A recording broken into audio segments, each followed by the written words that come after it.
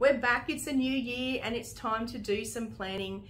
I know you probably did your resolutions at the 31st of December. You've probably forgotten what they are because you were drinking. Um, but now we're back at work. We need to have a think about what we're going to do for the next 12 months. Now I'm talking calendar months, not financial year months here.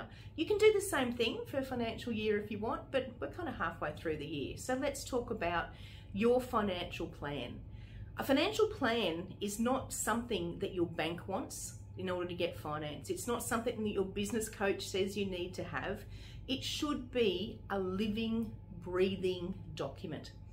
Here at HBA Encompass, we use a one-page business plan and it's a big Excel spreadsheet that we can print out on A3. We can put pictures and colors and all kinds of things in it.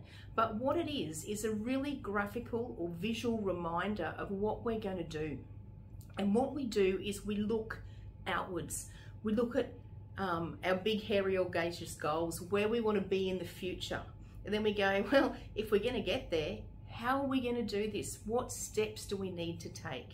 And we break it down. We say, okay, in three years, this is where we need to be. In one year, this is where we need to be. And then we go, if we want to move from where we are now to where we want to be in 12 months, what steps do we need to take? And then we break it down even further. We go into a 90 day plan. We chunk it down.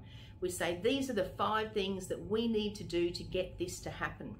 Now you can have a one page plan that's at whole of business level where you sit and work out where you want to be. But chances are you can't do everything in your business. That's what you have a team for. We're not wearing 10 hats, we're hopefully only wearing one or two, we've got other people to help us. So what we then need to do is look at it and go, who can help me achieve what I need to do to get where I am?